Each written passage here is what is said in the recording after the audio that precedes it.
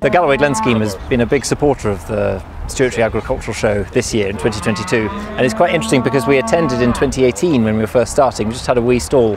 And I think it's a sign of how Galloway Glens has changed through the life of this project. Because we've only got a year left now, we go in September 2023 so it's not about the Galloway Glens scheme anymore, it's about the partners that we've worked with and the capacity that we've built up in the local community and trying to keep the sort of legacy of the Galloway Glens scheme going.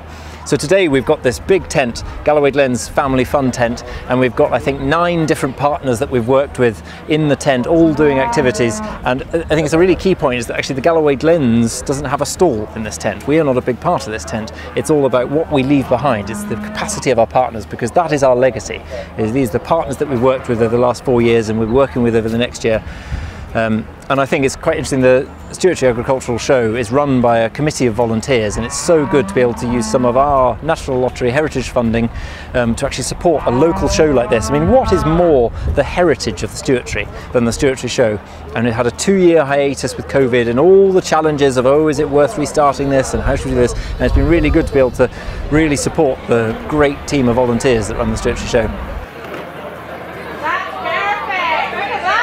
We've spent about 3.6 million pounds now through the Galloway Glen scheme over the last four years. We've got another year left to run as we approach our 5.1 million pound target and 75% of that has actually been spent with Dumfries and Galloway businesses. So it's businesses right here in Dumfries and Galloway that have had work through the Galloway Glen scheme. And that varies right from £30,000 to build a bridge or a big infrastructure project or fitting a building out, right the way through to just providing catering at an event or something. But these are all people who've been engaged through the Galloway Glen scheme. About 190 Dumfries and Galloway businesses that we've worked with so far. And I think it's really important because our legacy is going to be our partners. Our legacy what is what we leave when this scheme comes to an end in September 2023 and it's really the capacity and ability of our partners which is going to be our main legacy.